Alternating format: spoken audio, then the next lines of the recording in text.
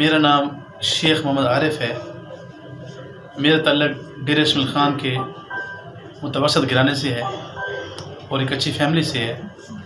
ابھی پچھلے دنوں بیس جنوری کو اللہ پاک نے مجھے اپنے گھر کی سعادت نصیب فرمائی اور میں بارہ فروری دو ہزار انیس کو واپس پاکستان ڈیر اسمل خان آیا۔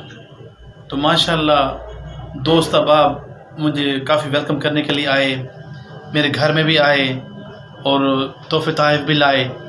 میں ان سب کا مشکور ہوں۔ ان دنوں میں مطلب جو بھی آیا، اپنے ہاتھ ساتھ مٹھائی، بوتلیں اور ہار وغیرہ لایا۔ تو ان میں ایک جوس کا پیک ہے، جسے فروٹین جوائے مینگو فروٹ ڈرنک کہتے ہیں۔ یہ جو مہمان وغیرہ آئے، اپنے ساتھ وہ لائے۔ انہوں نے بازار سے خریدا ہوگا۔ ظاہری سی بات ہے، بہت سے ڈبے تھے، کچھ چل گئے، کچھ باقی رہ گئے۔ یہ آج سات جنوری، سات مارچ دو ہزار انیس کا دن ہے۔ اور چونکہ میں اپنے ڈیوٹی پہ تھا، تو پیچھے گھر میں مہمان آئے ہوئے تھے۔ تو پورے ڈبے میں سے پہلے تو تین گلاس نکل چکے، مہمان پی چکے۔ اور ایک گلاس باقی تھا۔ کچھ ساتھ پڑوس میں آئے ہوئے تھے، عورتیں مبارکبادی کے لیے۔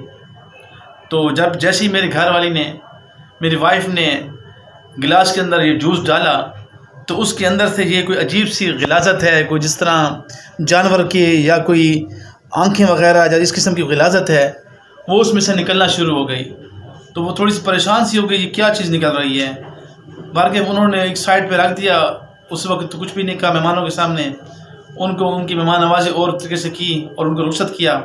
اور مجھے بتایا، جب میں گھر پہنچا بتایا کہ یہ اس جوس کے ڈبے سے یہ غلازت نکلی ہے۔ تو میں اس میڈیا کے سامنے، اس اخبار کے سامنے یہ بتانا چاہتا ہوں کہ خدارہ اگر اس قسم کے چیزیں ہمارے پینے والی چیزوں سے نکلنا شروع ہو گئیں، تو ہم کیا چیز پئیں گے؟ پہلے لوگ کہتے ہیں کہ بند چیزیں استعمال کریں، کھلی استعمال نہ کریں، کھلی خراب ہوتی ہیں۔ اگر یہ اتنی بڑی کمپنی ہے، لاہور میں اس کی مینوفیکچرنگ ہے، گلبرگ کے اندر، اس کا ایڈریس بھی لکھا ہوا ہے۔ اگر حکومت اس طرف توجہ نہیں دے گی تو آئے دن بیماری جس طرح پھیل رہی ہیں تو اور بیماری پھیلتی آئے اللہ بہتر جانتے ہیں یہ کیا چیز ہے۔ مطلب فروٹ کے اندر ایسی خلاصہ نکلنا ہو تو اس کا مطلب ہے یہ کسی اور چیز سے یہ ایکسپائری اس کی بالکل فریش ہے۔ اس کی ایکسپائری ہے جی ابھی جس کی مینوفیکچرنگ ہوئی ہے چار دو دو ہزار انیس۔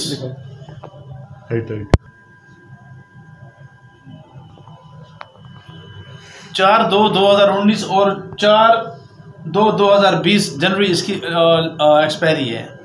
تو اگر ایسی چیزیں عوام اگر پیے گی تو کیا وہ بیمار نہیں ہوگی تو کیا ہو گیا؟ ویسے بھی ہمارے ہاں اتنی پالوشن ہے، اتنی ڈسٹ ہے، لوگ آئے دن بیمار ہو رہے ہیں۔